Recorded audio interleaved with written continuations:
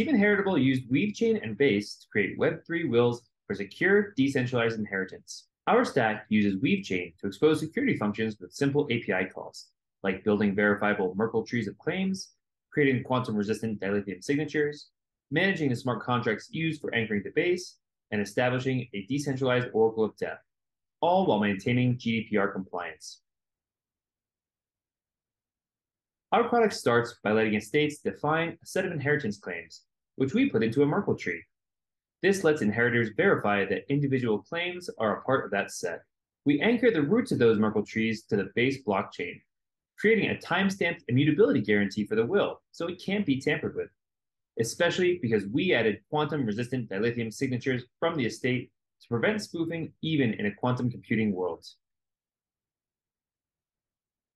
Now, traditionally, inheritance is managed by a centralized party like a lawyer, who estates pay to be a trustworthy party who can declare when I'm dead and give away my assets. Instead, our estate names witness wallets to act as a decentralized oracle of death.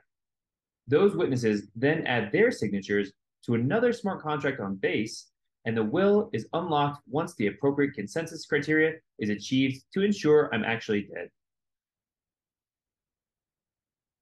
With the will unlocked, Inheritors can call the WeaveChain node to see any claims associated with their wallets, and with WeaveChain, data is stored off-chain in a revocable way that's GDPR compliant. Now let's take a look at this product live. Here's our estate user interface, preloaded with inheritance claims and witnesses to certify my death. I'll come over here and connect my wallet, and then write my Web3 will. With that complete, I can go and launch the base block explorer. See that I just had a transaction a few moments ago. And in that transaction, I can actually see the hash that was written, as well as my dilithium signature. Next, we'll switch windows and use the product as a witness. After connecting my wallet, the only action here is to sign the message bearing witness of death. With that complete, Similarly, I can go and launch another base block explorer for the smart contract that contains the signatures showing that proof of death.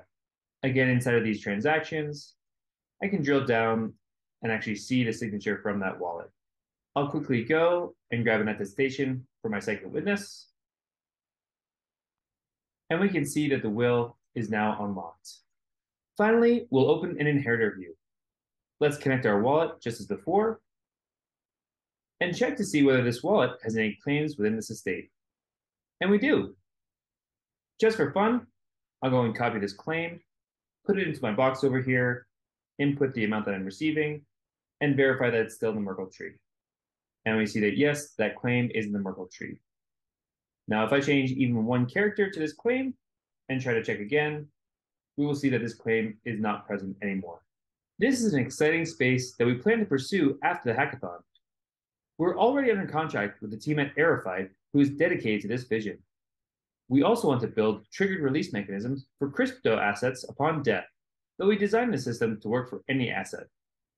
We also wanted to enable percentage-based claims, but it was easier to do discrete values. And a notification engine would have been sweet, using something like XMTP. Finally, our comprehensive UI prototype kind of fell victim to the hackathon horse. Thank you to the Base team and WeaveChain team for supporting our work here.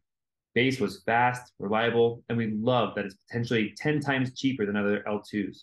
And WeaveChain provided the security tech, so we just had to focus on utility. We're thrilled to be building towards a decentralized future.